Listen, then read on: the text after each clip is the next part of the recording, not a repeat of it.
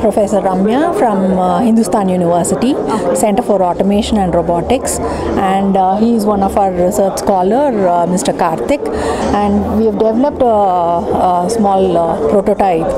Uh, basically, our center is more focused towards uh, automation and robotics for various uh, industrial applications. Uh, initially, we focused with industrial applications. Now we are looking into healthcare products as well.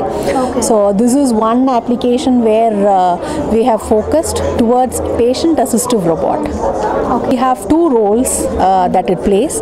Initially, we wanted to play as a companion. Uh, most of the bedridden patients are left alone.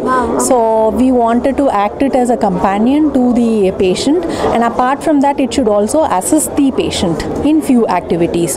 So, uh, considering the role of uh, companion, we are trying to entertain the patient by updating him with uh, news, day to day activities, uh, and the robot will log into the uh, patient's uh, mail account, can update the patient about the uh, mails, recent mails, and then could also go into the social media and uh, update him about the latest posts in his ID.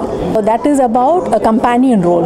And when it comes to assistance, we have taken uh, a reminder, like you can give a reminder about the medications that you are supposed to take, a patient is supposed to take. So the caretaker can register in what medicines uh, he or she is supposed to take and the timings. So that will be recorded, and uh, during that time, an alarm will beep up, and uh, the patient can take up the medications. And if you know there is uh, the patient is in distress, you can identify it from the emotions.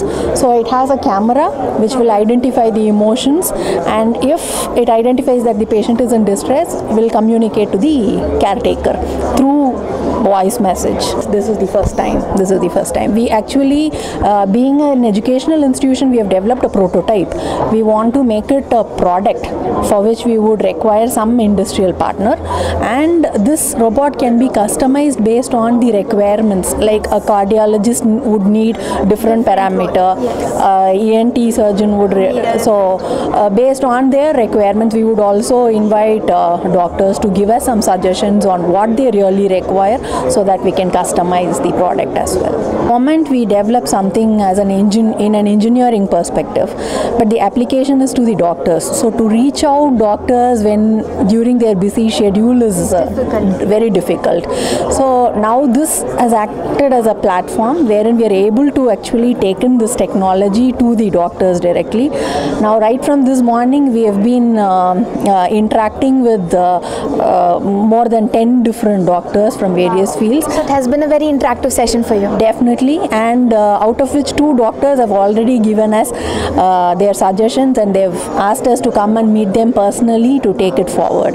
So it's definitely useful for us. Uh, we are located in Chennai, so it was not tough for us to reach this. Uh, but when, uh, of course, the objective is we have been developing it, but to take it to the uh, market, we really have to reach to the uh, uh, users who would use this. So this actually is placed as an interface for us to take this and good networking as well.